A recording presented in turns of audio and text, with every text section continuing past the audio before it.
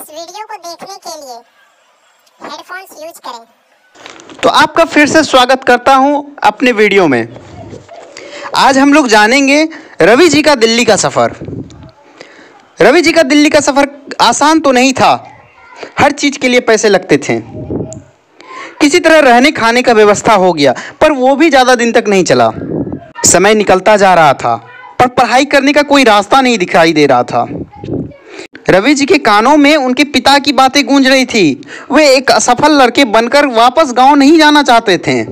इतने में उन्हें कई लोगों के द्वारा पता चला कि सीए कोर्स काफ़ी सस्ता होता है। पर यह बहुत मुश्किल कोर्स है। इसमें बहुत पढ़ना होता है।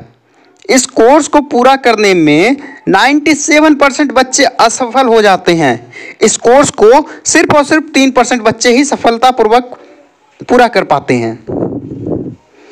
इस कोर्स में अंग्रेज़ी की अच्छी जानकारी होनी चाहिए थी। और रवि सर बिहार के बच्चे थे। और बिहार के बच्चों में टैलेंट होता है, लेकिन अंग्रेज़ी बोलने में मानो पहाड़ टूटता है। पर सीए का कोर्स काफ़ी सस्ता था। इसमें पैसे कम खर्च होते थे। रवि जी ने सोचा कि अगर पढ़ने से ही होगा तो मैं कर लूँगा। क्योंकि मैं और कुछ कर नहीं सकता। मेरे पास अंक नहीं है, ना मेरे पास पैसे हैं और मैं असफल बनकर घर नहीं जा सकता। बस उन्होंने अपनी मेहनत पर विश्वास किया और कंपनी सेक्रेटरी कोर्स में एडमिशन ले लिया। शायद किसी ने ठीक ही कहा है, जो अपने कदमों की काबिलियत पर विश्वास करते हैं, वही अक्सर मंजिल पर पहुँचते हैं। और रवि सर ने कड़ी मेहनत को अपना हथियार बनाया और सफलता को अपना गुलाम बनाया। इस कोर्स को पूरा करने के में रवि जी को लगभग छः वर्ष लगे। सीएस फाउंडेशन एवं इंटरमीडिएट के एग्ज़ाम में कई बार असफल हुए। इन छः सालों में रवि जी को बहुत सारी समस्याओं का सामना करना पड़ा। एक एक पैसे के लिए तरसना पड़ा। वे एक वर्षों तक अपने जूनियर से अकाउंट सीखते थे। उन्होंने मूंगफली बेची, झुग्गी झोपड़ी में रहें और अपने पढ़ाई के लिए समय भी बचाते थे। इस सफ़र में रवि जी ने अपने लक्ष्य को कभी नहीं छोड़ा और ना कभी घबराएँ। दिसंबर 2007 में कंपनी सेक्रेटरी के सभी परीक्षाओं के ग्रुप को प्रथम प्रयास में पास किया। जैसा कि हमने पहले वीडियो में जाना कि संघर्ष करने वालों की कभी हार नहीं होती, संघर्ष से कभी डरे नहीं। संघर्ष जो करते हैं, वही लक्ष्य को हासिल करते हैं। अब रवि भूषण एक सफल इंसान बनकर अपने घर थमा वापस जा रहे थे। उन्होंने अपने पिता के चरणों को छुआ और आशीर्वाद लिया। उनके पिता ने बड़े गर्व से कहा, आज मेरा बेटा मुझसे भी बड़ा हो गया। मुझे मेरे बेटे पर गर्व है। रवि भूषण के संघर्ष और मेहनत तथा कठिनाइयों का फल मिला। इस तरह गाँव का एक असफल लड़का अपने गाँव एवं जिला एवं कमिश्नरी का प्रथम सेक्रेटरी बना।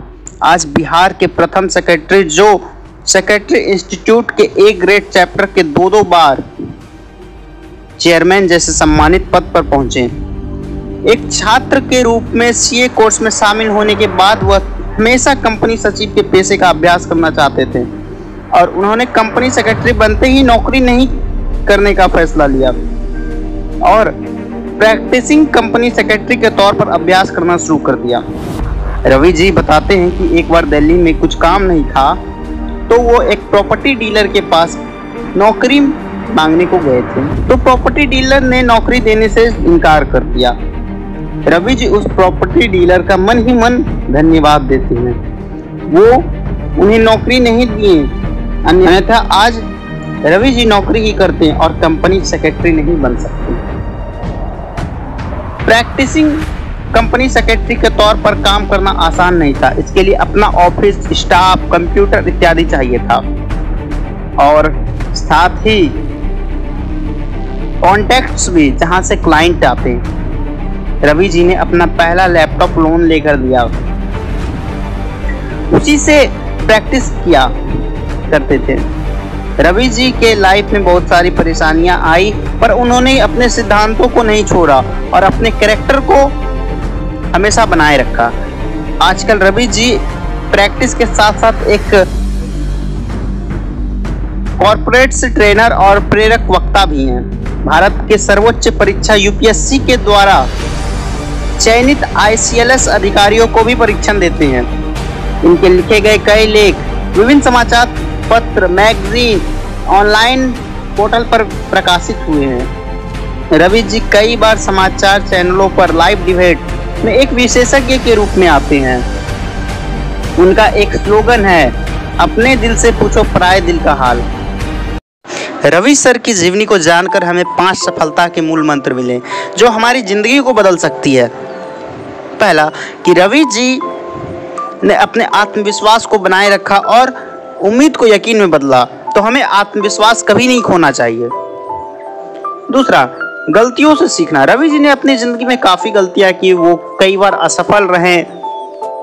परंतु इसमें सबसे महत्वपूर्ण यह था कि उन्होंने अपनी गलती से सीखा।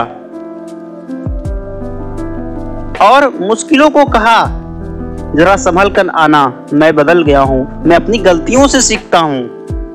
तीसरा, दूसरों को कभी दोष मत देना। हर खामोश इंसान के भीतर एक तूफानी समंदर छिपा है। इस बात को भली भांति साबित किया एक असफल लड़के ने, जो सफल बनकर आया।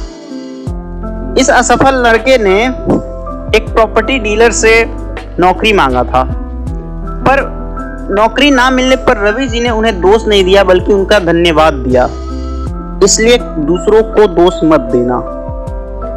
चौथा मन को मज़बूत बनाओ। रवि जी झुग्गी झोपड़ी में रहे पानी और बादाम बेचने तक के सफ़र को झेला, पर हिम्मत कभी नहीं हारा। अपने मन को हमेशा मज़बूत बनाए रखे और अपने लक्ष्य के प्रति एकाग्रचित थे पांचवा, हमेशा धैर्य बनाए रखो। सफलता दूर हो सकती है, लेकिन उसका आना अनिवार्य है। रवि जी अपने करियर में कई बार असफल हुए पर उन्होंने धैर्य को नहीं छोड़ा। दोस्तों, अगर वीडियो पसंद आया हो तो चैनल को लाइक, सब्सक्राइब, शेयर करें। थैंक यू दोस्तों, जय हिंद।